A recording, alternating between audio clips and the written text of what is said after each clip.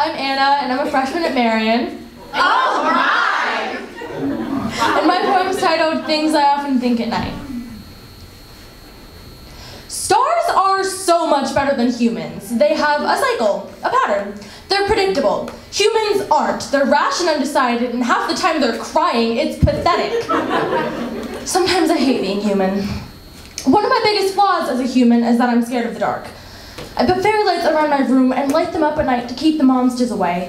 But when they're climbing inside of my room, my brain, shredding my skin apart and slithering into the deepest crevices in my mind, it's almost like they're mocking me. The lights are shining brightly and cheerfully when I am anything but.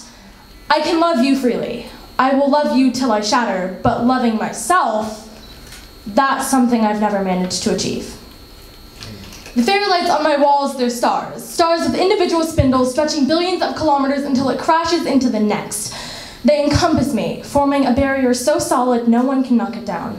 No one but myself. And sometimes, if I'm lucky, when I fall asleep, I see her. My stars are shining brightly, and she's just a silhouette in the extensive darkness.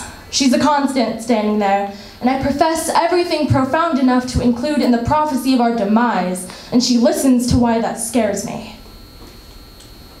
We were not written in the cosmos. There's no prognostication scribed into the heart of the universe telling me my first breath would be inhaled at 3.42 a.m. on a Tuesday to a mother who had no idea how to take care of herself, let alone another.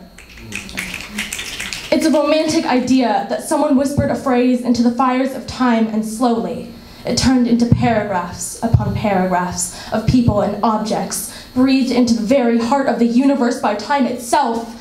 It's a handsome thought, but not one I think. The fairy lights on my walls, they're stars, but they're also a barrier, and they keep everything that can hurt me or scare me out, but they keep me in. There's a reason the girl who sits on the stars sits on the stars and not my bed, because if anything, she scares me the most.